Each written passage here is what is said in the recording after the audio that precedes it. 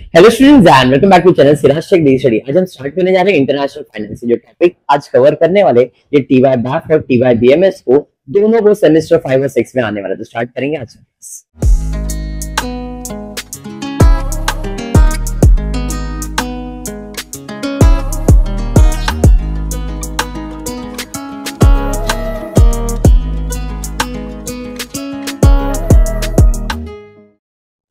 आज जो टॉपिक करने जा रहे हैं, इसका नाम है बीएमएस की टेक्स्ट बुक के अंदर introduction to exchange rate TY BAF की बात करूँगा तो फॉरेक्स अरेथमेटिक यूनिट फोर में।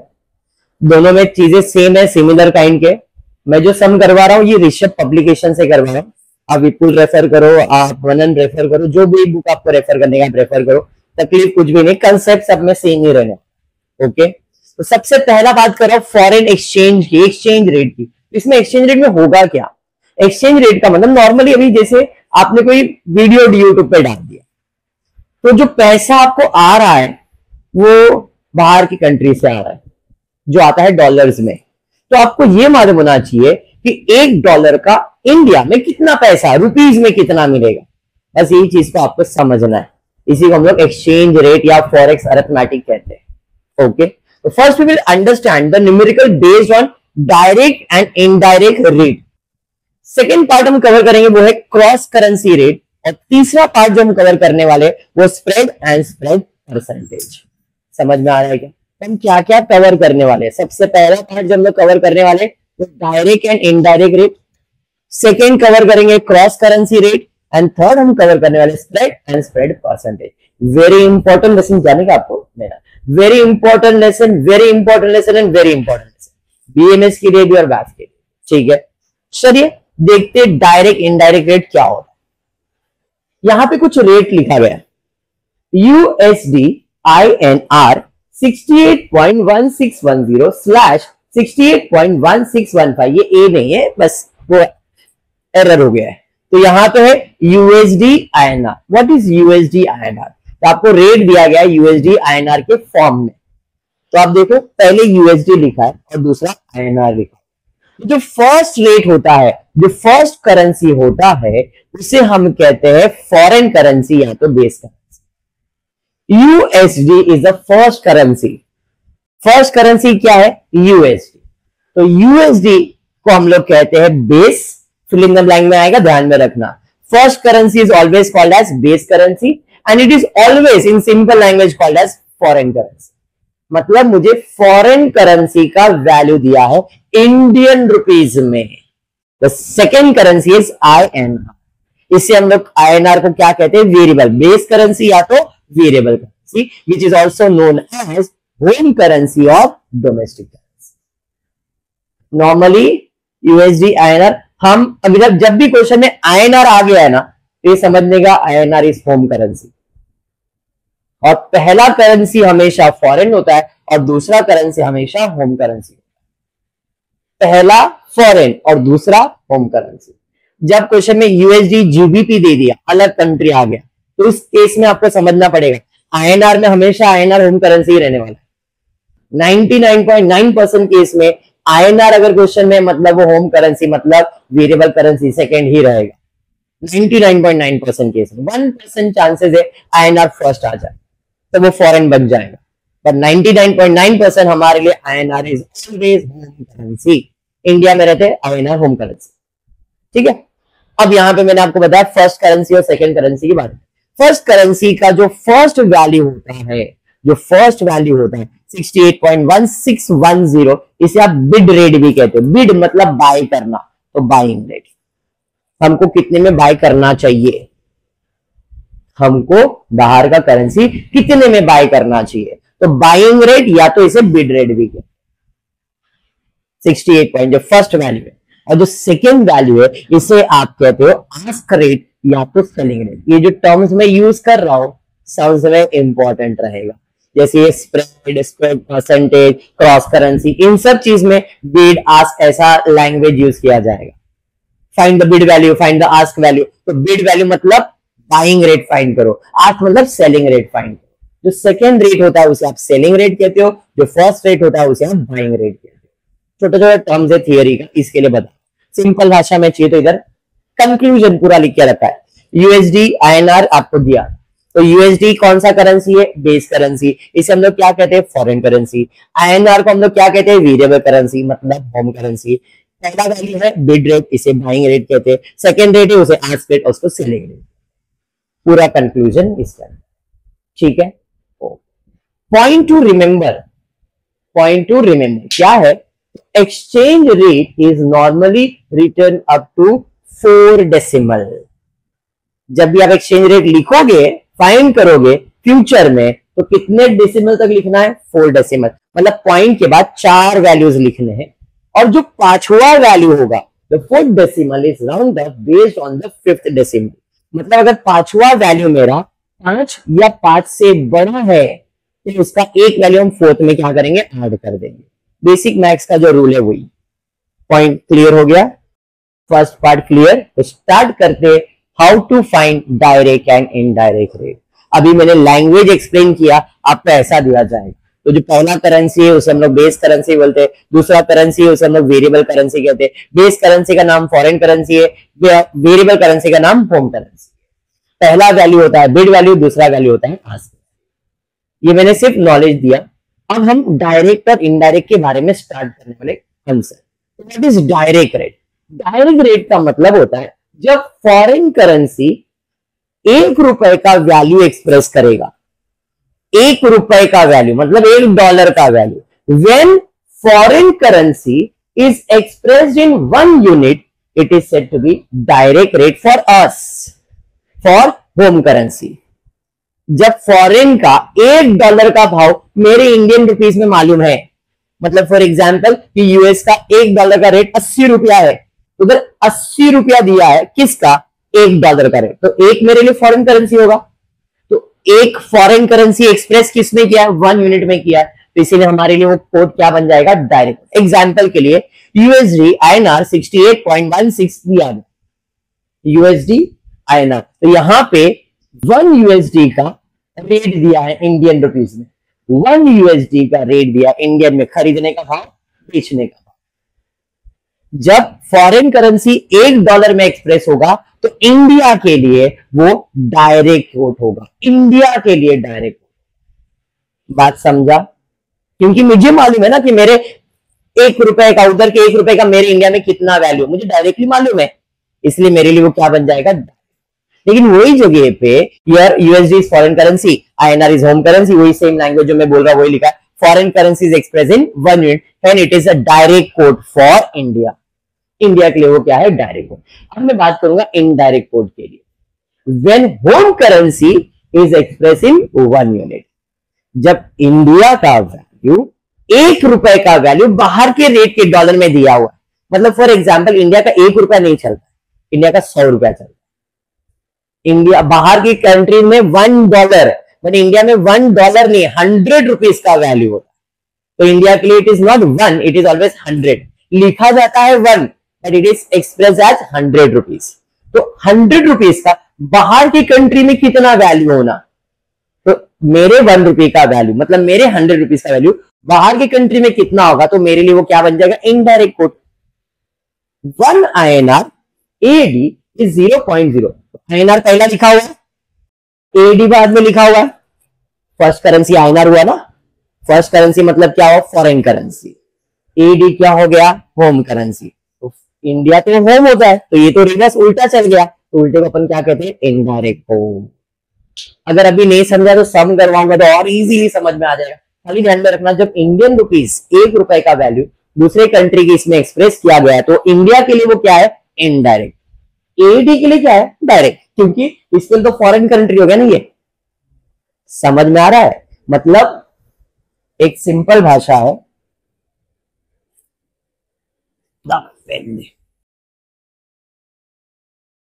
देखो उसने बोला जब फॉरेन करेंसी एक रुपए में एक्सप्रेस होता है तो वेरिएबल कंट्री के लिए वो क्या बन जाता है? डायरेक्ट बराबर?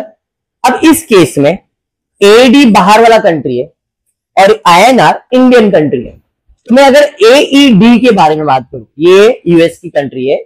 आप दुबई जाते हो ना तो दुबई का दिरम की वैल्यू तो दिरम के लिए यूए के लिए ये होम करेंसी है और यूए के लिए ये क्या बन जाएगा? फॉरेन करेंसी जब फॉरेन करेंसी जब फॉरेन करेंसी एक में एक्सप्रेस होगा तो इसके लिए वो क्या बन जाएगा? डायरेक्ट कोट और मेरे लिए क्या बन जाएगा? इनडायरेक्ट समझ में आ रहा है?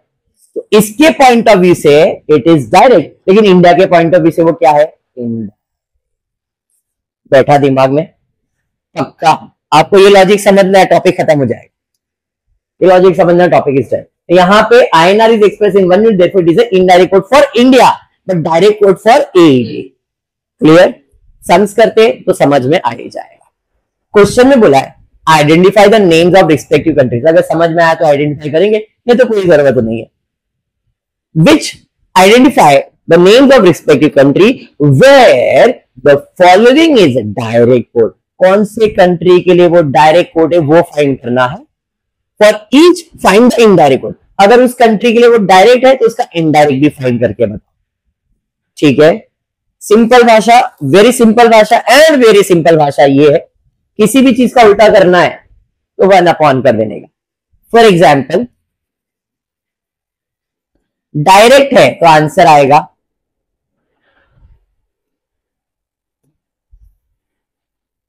डायरेक्ट है तो आंसर आ जाएगा यहाँ पे वन अपॉन इनडायरेक्ट अगर इनडायरेक्ट है तो वन अपॉन डायरेक्ट।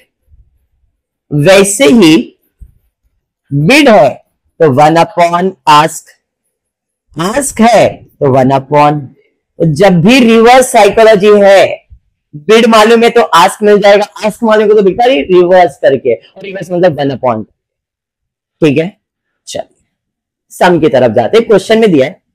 एक ग्रेट ब्रिटेन पाउंड का इंडिया में वैल्यू है सेवेंटी फाइव रुपीज़ एक ग्रेट ब्रिटेन पाउंड का इंडिया में वैल्यू तो इंडिया का रुपीज़ तो मालूम है। एक रुपये में दिया कि इंडिया नहीं। एक ग्रेट ब्रिटेन पाउंड दिया हुआ।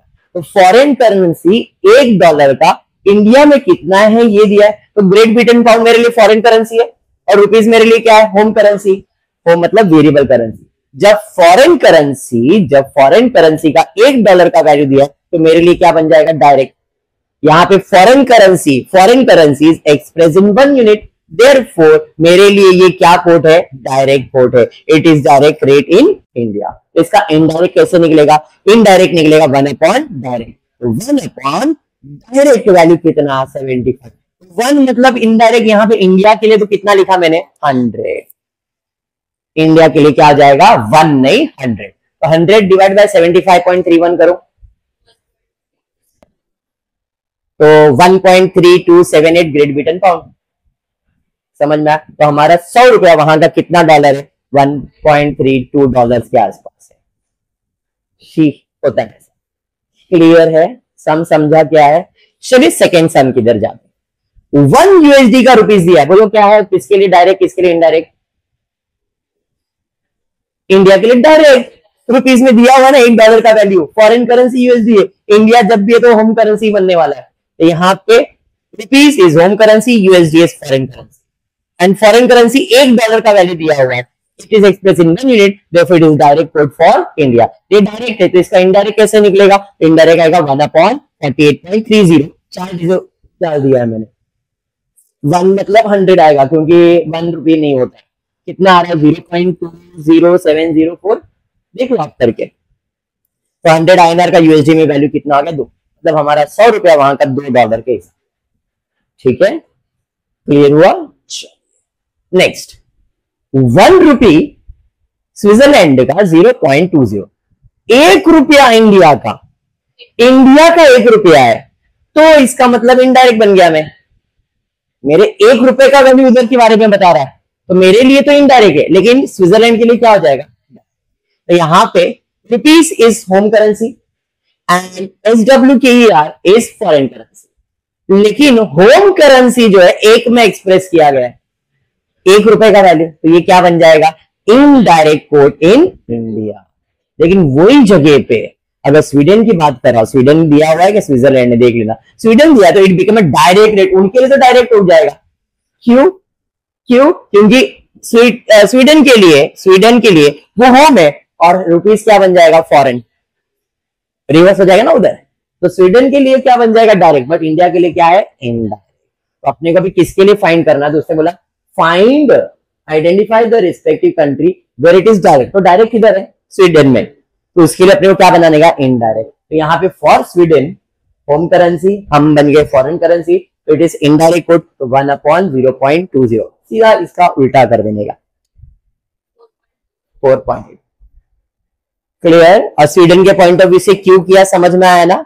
बिकॉज़ डायरेक्ट कोड जिसके लिए, उसी का इनडायरेक्ट निकले। तो इनडायरेक्ट कोड वन अपॉन करके करेंगे अंडरस्टूड पक्का समझा? चलिए वन ग्रेट ब्रिटेन अभी दोनों इंडिया के बाहर आ गए। वन ग्रेट ब्रिटेन पाउंड का वैल्यू डॉलर में दिया हो। तो ग्रेट ब्रिटेन पाउंड एक दिया मतलब वो फॉरेन करेंसी और डॉलर होम करेंसी डॉलर किधर यूएस में चलता है? यहाँ पे in US in US dollar उसके लिए होम करेंसी है और ग्रेट ब्रिटेन पाउंड उसका फॉरेन करेंसी है और उसके लिए फॉरेन करेंसी एक में एक्सप्रेस किया गया तो यूएस के लिए वो क्या है? डायरेक्ट जैसे इधर रुपीज़ के लिए था, इधर यूएस के लिए डायरेक्ट है तो it is direct in US इसका इनडायरेक्ट क्या आएगा? One upon Great Britain pound one point five six four clear हुआ ये पार्ट अच्छे से। चलिए, बढ़ते नेक्स्ट सम की तरफ़। देखते क्वेश्चन दिया क्या गया। Identify the country in which it is direct rate अब डायरेक्टली बताओ कौन से कंट्री के लिए डायरेक्ट रेट है वन यूएसडी एंड कैट का वैल्यू दिया है। किसके लिए डायरेक्ट है?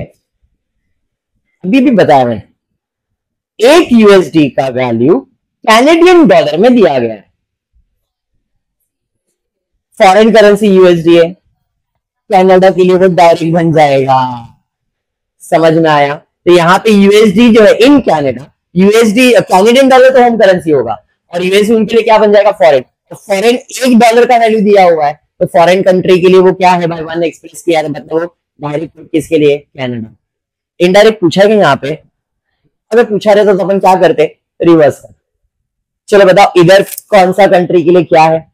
वन यूरो यूएसडी यूएसडी के लिए डायरेक्ट है। वेरी गुड यहाँ पे यूएसडी सॉरी अभी कनाडा लिखा ये यूएसडी अमेरिका ही रहेगा। यूएसडी क्या है भाई? होम करेंसी और यूरो क्या है? फॉरेन करेंसी एक फॉरेन करेंसी का value express in one unit दिया। इसका मतलब वो क्या हो जाएगा? कैनेडा मतलब यूएस के लिए।